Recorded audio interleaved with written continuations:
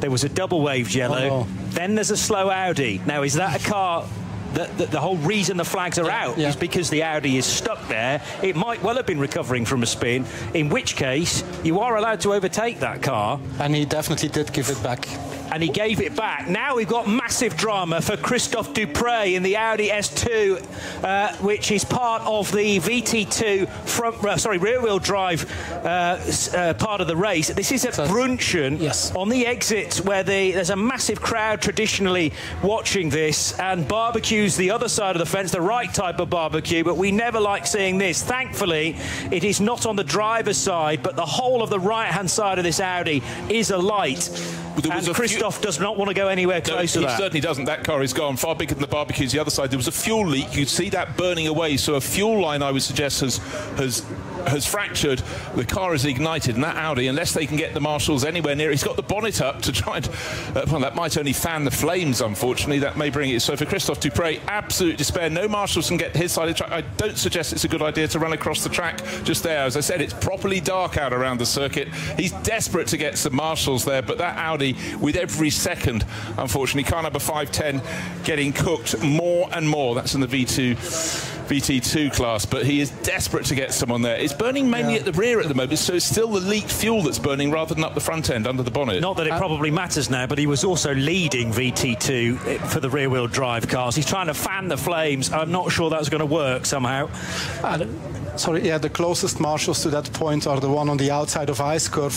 The problem is running back from ice curve to that spot. There's a really, really steep drop behind the Armco, so you can't run behind the Armco. Okay, a rescue vehicle, a, a course vehicle has come along. There will be uh, fire extinguishers taken out of the boot of that. But in fact, in some ways, the, the worst of the flame has uh, dropped away. So all that spilt fuel that we saw burning in a line across the grass he pulled to the right-hand side of the circuit, it's under control. In fact, it's a it's a sort of fixed extinguisher there, and the marshal just getting it straight. And now we'll get onto the fire. But I'm afraid it's over and out for the 510 Audi.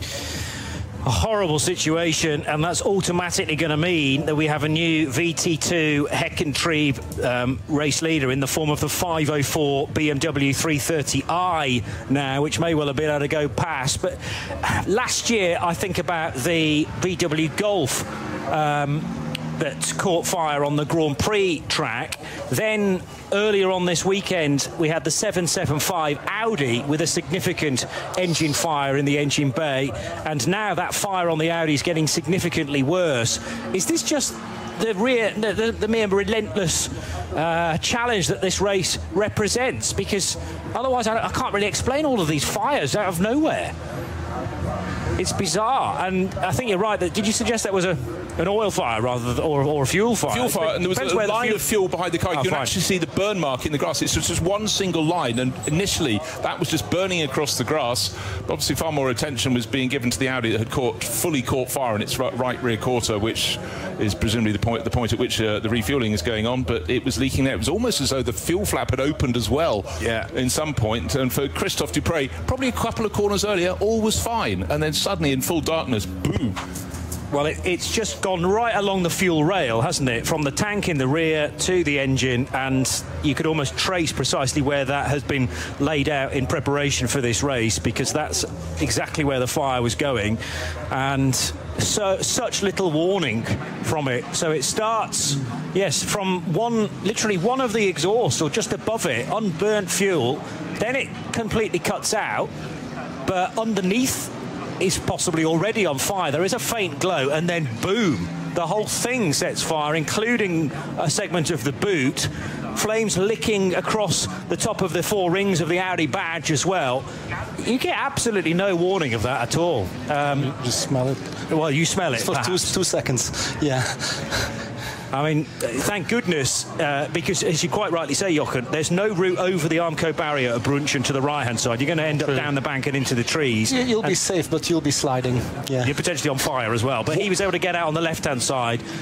And what was remarkable, um, Tim Schrick was just driving past, and his onboard camera was showing nothing. It just showed the Audi pull to the side, and only as it pulled on the grass, suddenly. Not feeling everything is going to plan because that, yeah. Dangerous place to be sitting. Yeah, true. Um, you cannot afford to relax at all in this race and need to be on tenterhooks for the next drama. Have we dealt with the history of frozen speed? Does that go back to 2005 um, well? It started in 2004. Okay. Um, yeah, when I crashed my track day car on the track and uh, on the Nordschleife, and then I decided to keep coming to oversee the repair and hang out with my friends here. And I decided I better do something whilst I'm here. And I thought, why don't I bring a camera and, and photograph my friends who drive the track? And uh, I got going with that, and that I enjoyed it and it went quite well. And then I thought, once the golf's fixed and I'll start driving again, I'm just going to put the camera to the side. But then I thought, you know what? I'm enjoying this photography. I'll, I'll continue shooting and I'll continue driving. But the, truth be told, once my car was fixed, I, I, kept photographing and I never drove as much anymore as I used to drive before. And were you a professional photographer in other areas or just a man with no. a good camera? No.